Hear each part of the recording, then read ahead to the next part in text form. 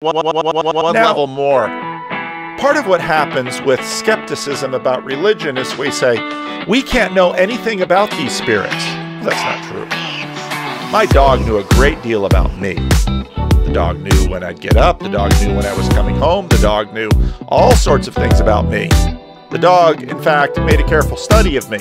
Now, the dog could not understand all that I am because, in fact, I am levels above the dog, but the dog could know me. Remember how he says the brain cells don't know what the whole brain is doing?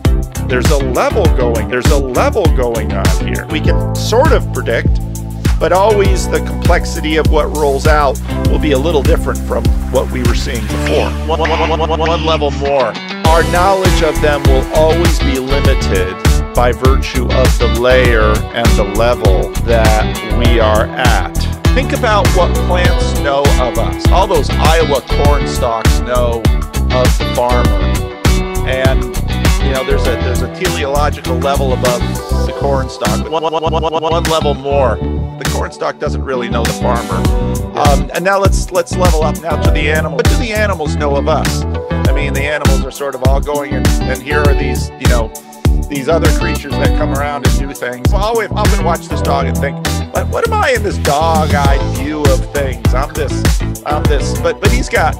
My dog has a degree of consciousness, but I obviously have more consciousness. I've got way more teleology. I mean, that's why that's why we can play tricks on our pets because we're we're thinking a level ahead, a level ahead. But you know, in the way that the corn in Iowa doesn't see the farmer, we, don't even know how many levels up there are. How many levels up there are?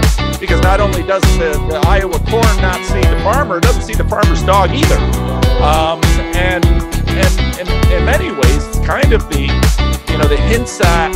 You know, you look at ancient cosmology. This is very much the way they saw the world. And to go back to JP's primary and secondary causation, you know, if I have a if I have a field and the grass is too high and I've got a couple goats, I put those goats and those goats are exercising their agency, eating up all that herbage that I'd like to have eaten.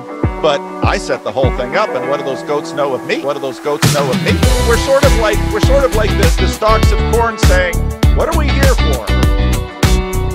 They don't say that. The dog doesn't say that. We say that, and then are there levels up? If we can see levels below, are there more up? We level more. All it is is corn.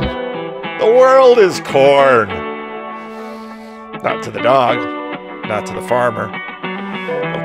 Corn's gonna go on forever until the reaper comes, and then the corn is gone.